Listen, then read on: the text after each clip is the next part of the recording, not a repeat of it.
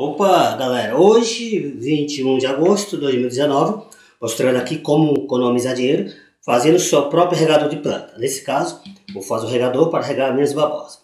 Pode ser qualquer frasco, garrafa pet ou esse. Tira a tampa, aí, galerinha, aí esquenta a agulha aqui no fogo. Muito bem.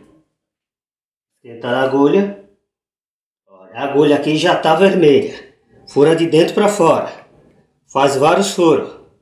Faz vários furos e pronto. E quem gostar do vídeo, dá um like, um joinha para receber o próximo vídeo. Opa galera, aqui já está pronto. Tá vendo? Eu já fiz os furos.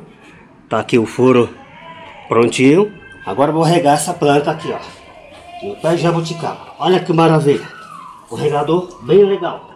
Aqui também, ó regar qualquer planta. Aqui os dentes de leão, é, medicinal para chá. É isso aí, galera. Que gostou, dá um crack, um joinha. Até o próximo vídeo.